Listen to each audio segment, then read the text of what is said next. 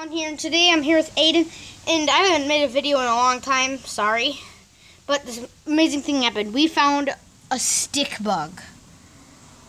And I don't think we would ever find this, because this is a, a town where you don't really find a lot of these. The stick bug. See crawling? It looks exactly like a stick. I'm gonna I'm gonna try to pick it up so I can like give a closer look. I don't know what it is if it's actually because it has like a ring at the end of its tail, so I don't know if it's safe or not safe. But this could be dangerous, but I'm doing it. Okay, I'll pause the video. No, no, don't go off, don't go off, don't go off. Thank you. Okay, here it is. It's on the stick. It was on that. Now it's right there. It's trying to escape. You're not escaping, little buddy.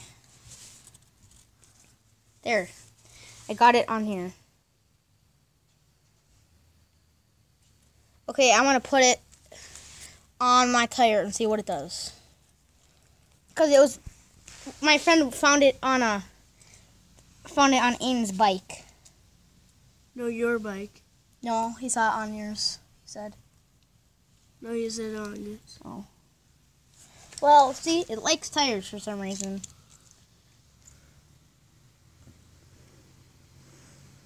That is a weird bug. Don't crawl on my. It, it, it likes dark colors, I'm pretty sure. That's all I have for today, guys. Please subscribe and see you all later. Bye!